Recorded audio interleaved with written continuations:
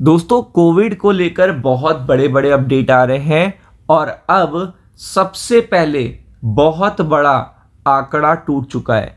यानी कि मैं आपको हिस्टोरिकल यहाँ पे डेटा प्रोवाइड कर रहा हूँ। हिस्टोरिकल रिकॉर्ड देखिएगा, प्रोवाइड कर रहा हूँ। हेल्थ मिनिस्ट्री भी देखिएगा, बहुत प्रोएक्टिव हो चुकी है।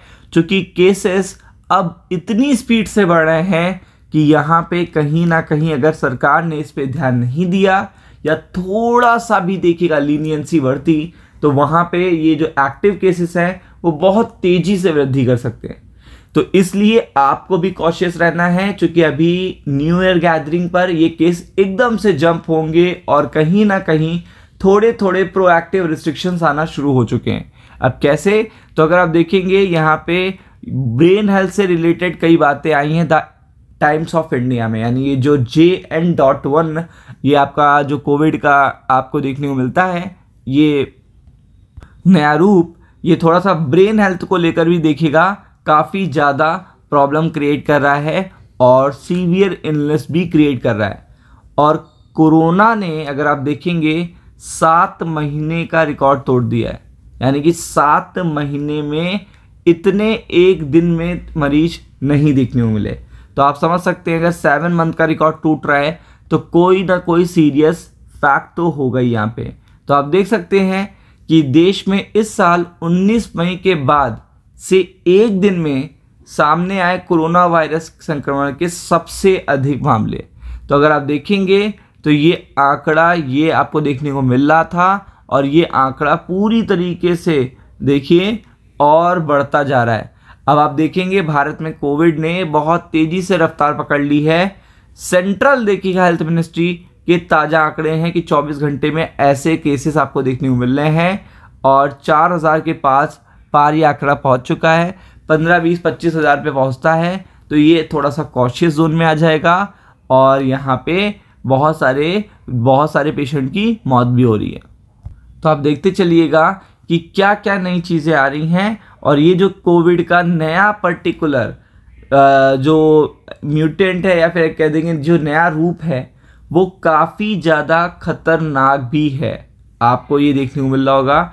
ये आपको मैं नहीं कह रहा हूँ, ये एम्स के डॉक्टर्स ने भी कहा है और ये डब्ल्यू एच ओ ने भी कहा है। लेकिन डब्ल्यू एच ओ ने यहाँ पे एक बड़ी अपडेट दी है, जो कि आपको पता होनी चाहिए। और डब्ल्यू एच ओ ने ये कहा है जस्ट द हिंदू पे, देखिए। द हिंदू पे क्या कहा है?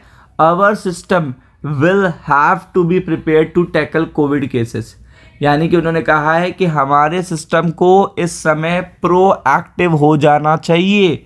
अगर आप कोविड के केसेस को टैकल करना चाहते हो, वरना ये जो शार्प जंप आता है, वो प्रॉब्लम क्रिएट करता है। तो अगर आप देखेंगे for an endemic infection surge are common but they will have to be anticipated handled appropriately ये कौन है? Chief scientist of W H O chief scientist हैं डब्ल्यू एच ओ की, उन्होंने ये बात कही है कि यहाँ पूरी तरीके से प्रिपेयर्ड रहने की ज़रूरत है। और predominant strain for an endemic infection common but they will have to be anticipated handle appropriately Soumya Swaminathan ने ये कहा है और आप देख सकते हैं there will be surge in the future यानी कि वो पूरी तरीके से कह रही हैं कि ये सर्च बढ़ने वाला है फ्यूचर में. It is important to collect the data in order to make decision यहाँ पे डेटा कलेक्ट करके डिसीज़न लेने का समय आ चुका है in case another surge with more deadly strain were to be appear यानी कि ये पर्टिकुलर जो स्ट्रेन है, वो नए नए रूप भी ले सकता है और और डेडली रूप ले सकता है। तो यहाँ पूरी तरीके से सिस्टम को प्रिपेयर्ड रहना पड़ेगा। तो आप समझ सकते हैं कि डब्ल्यू एच ओ अगर ऐसा कुछ कह रहा है डब्ल्यू एच ओ के फॉर्मर चीफ साइंटिस्ट ऐसा कह रहे हैं तो आप समझ सकते हैं कि बहुत ही ज़्यादा इंपॉर्टेंट है ये। और अभी आप देख सकते हो कई पर्टिकुलर डेथ ऐसी हुई हैं जिसमें आपको ज़्यादा टाइम ही नहीं मिला। लाइक like, जो भी पर्टिकुलर पर्सन था वो दो तीन दिन पहले ही डिटेक्ट किया गया था और देन आफ्टर दैट उसकी डेथ हो गई। तो ये केसेस गैदरिंग रिस्ट्रिक्शंस और बहुत सारी चीज़ें आपको देखने को मिलेंगी, जहाँ पे एक्टिव केसेस लाइक केरला आप देख सकते हो कर्नाटका यहाँ पे आपको गैदरिंग में भी रिस्ट्रिक्शंस देखने को मिलेंगे, चाहे वो मॉल्स हों, चाहे वो क्लब्स हों, चाहे वो देखिएगा, कोई भी होटल्स हों रेस्टोरेंट्स हों या पार्क हों तो ये सारी चीज़ें रेवेन्यू पे भी इम्पैक्ट करेंगी।